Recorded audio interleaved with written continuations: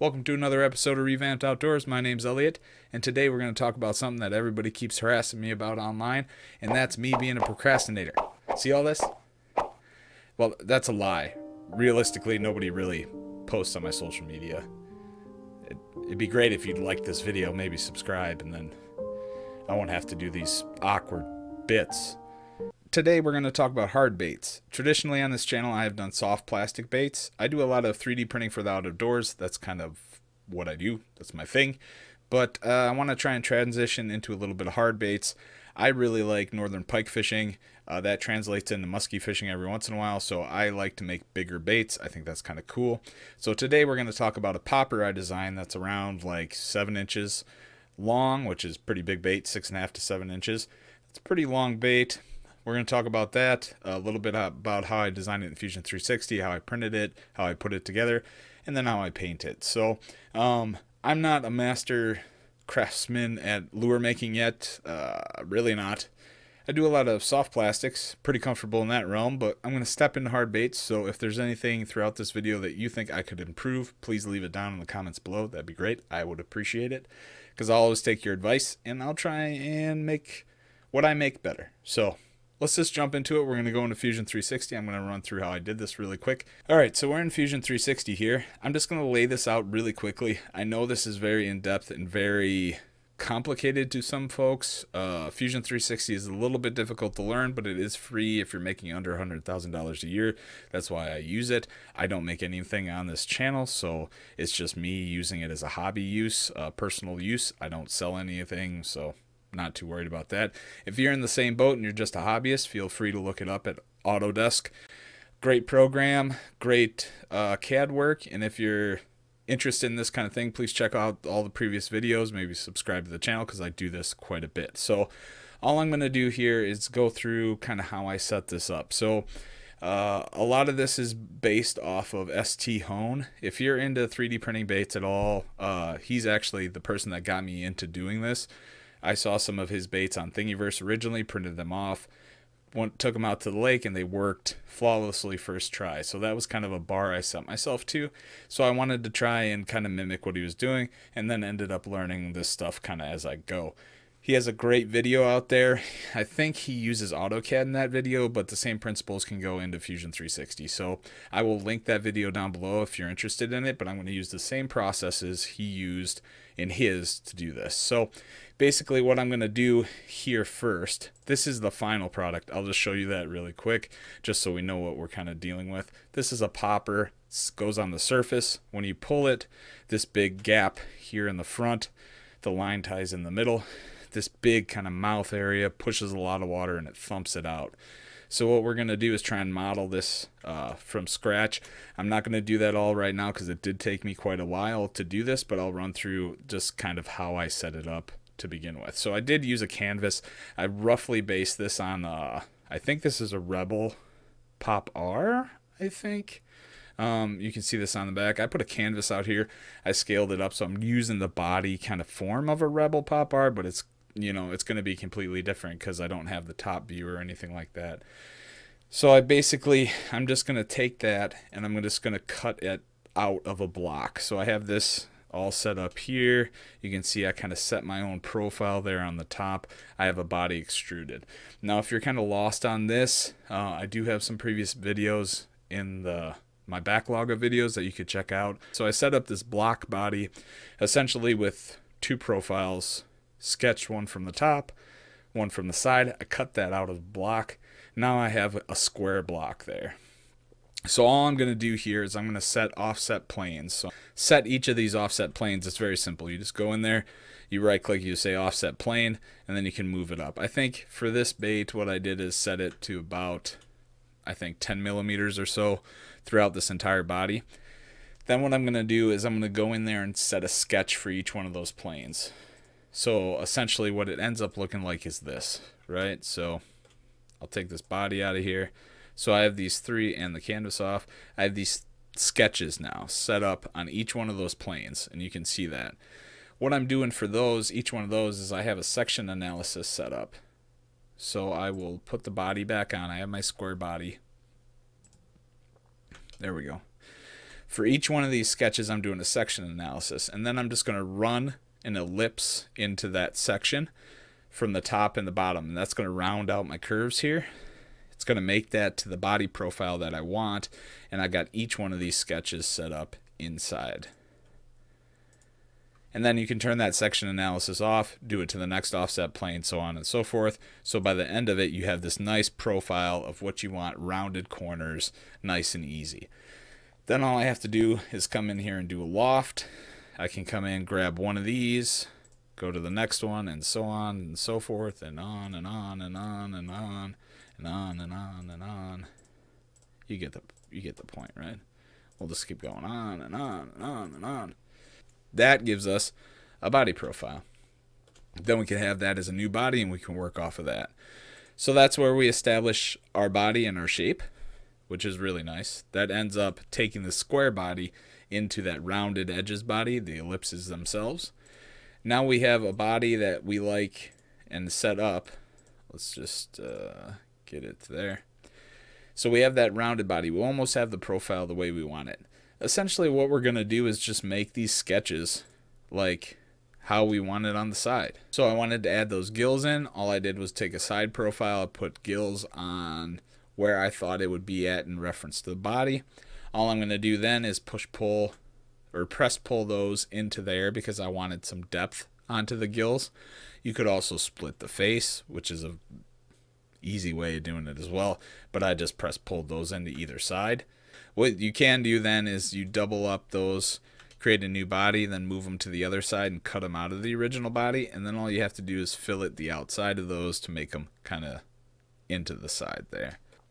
To create the eye, then it's a very similar thing. I created a sketch where I wanted that eyeball to be. I made the eye a little bit larger than I really wanted to, and then I cut it out of this body. Then I just put in another circle, set that in there, and then I did a sketch to make the I guess that would be the pupil of the eye. Cut that out as well. So it's just a formation of press pulls and cut operations to the body that I have already. So that's relatively simple, pretty easy. The problem I had with this was this mouthpiece. It's not exactly a circle, right? It's not exactly concaved, and you don't want it completely dug out in the center, it's going to create kind of a weird, like, it won't create good action when it pops through the water. Now, I'm going to be level with you. I haven't quite been able to test this out because all our lakes are frozen. I have done it in a small water bath test and it works very well. It orientates itself. But what I wanted to do here was try and cut this out but still keep this lip brim around there. That's very difficult to do because it's not a complete, you know, it's not a perfect sphere. So what I did here was I created a sketch on this face facing forward. And I just made an ellipse around this body that was pretty close to what I wanted. Then all I did was revolve the sketch, created kind of like a, a spherical ellipse out of this. And then I'm just going to scale it up and down until it fits around the edge of this. And I just wanted to give it just a little bit on each side so I could fillet that edge like you can see here. That's all I did. Wasn't too difficult to do. You just do non-uniform scaling to that ellipse because it'll be pretty close to where it needed to be there to begin with. But then I just cut it in to where I wanted it, and it turned out really well. I'm pretty happy with how it worked. Didn't think it would work that well, but it ended up working pretty well. So now that we have this main body, what we have to do is we have to split the body in half. So the to do that it's very simple. You just go in here, you create a sketch, split the body in half on that line, and then what you ended up then what you end up with, very simple, you end up with two halves. There you go. So now we have two halves. Then all we have to do is come in here and we have to do a, uh, a wire path. So if I put the sketch back on, all I did was like, hey, where do I want this through wire to go? I'm going to run a spline. And you can see that spline there. Very simple. All one large line. And then I just click that spine, the spline, went up the pipe. I set it to 2.0 millimeters. And then I just had it as a new body. So I set it to new body. And this is when both of these halves are still together, right? So these are one body itself. Then what I did is I just did a combine, had this cut out, Then what I can come in is do the split tool. So then after that's cut out, you can see that's where that is. So then all I did was do another sketch on this plane. You can just right click there, do an edit sketch. It starts a new sketch there. Then I just cut out spaces to uh, put lead weights to keep the buoyancy down. Because if you look at the profile of this bait, you can see that the widest portion of this bait is going to be what wants to float.